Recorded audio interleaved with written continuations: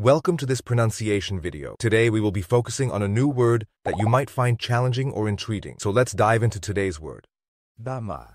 which means, a form of traditional Vietnamese hand fan or dance. let's say it all together. Dama. Dama. Dama.